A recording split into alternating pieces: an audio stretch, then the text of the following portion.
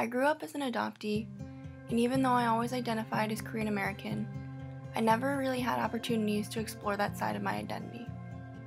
It wasn't until high school that I felt ready to seek community and to step out of the shadow of stereotypes.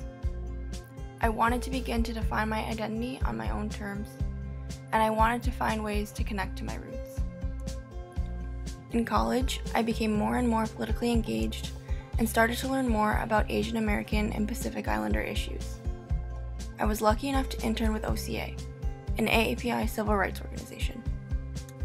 From there, I've only been able to grow and become more confident as a leader.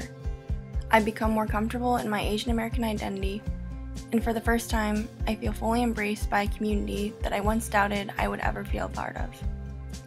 And now, I feel fortunate that I can share my story. This summer, I'm working for Congresswoman Judy Chu through the efforts of CKA.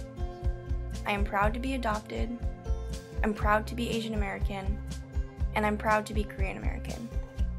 I'm proud to be able to call myself an advocate for the communities I'm fortunate enough to call my own. And because of CKA, I now have the power to lead.